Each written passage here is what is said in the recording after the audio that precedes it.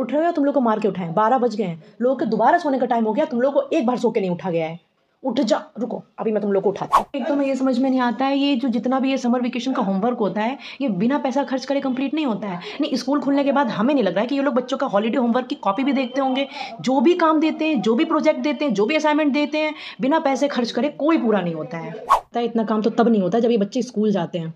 अब तो डबल नहीं, चार गुना काम हो जाता है। ये लोग जब तक सोते रहेंगे ना, तब तक तो सोते रहेंगे और सो के उठने के बाद आपस में इतना लड़ेंगे इतना लड़ेंगे, एक दूसरे के बाल नोच डालेंगे, मारपीट करने लगेंगे और फिर मेरा सर दर्द हो जाता है, फिर हम और अपना हाथ साफ़ कर लेते हैं इन दोनों के ऊपर। हम लोग तो अपने मम्मी पापा को इतना परेशान नहीं करते थे। आजकल के बच्चे क्या क्या?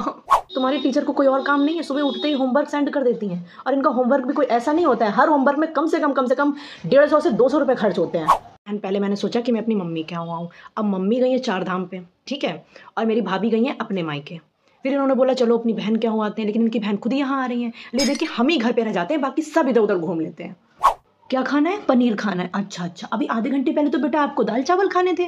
दाल चावल जब बन गए तो आपको पनीर खाना है। रुको, तुम दोनों का पनीर मैं बनाती हूँ, रुको। उतना परेशान हमें करते उतना परेशान अपने पापा को नहीं कर सकते।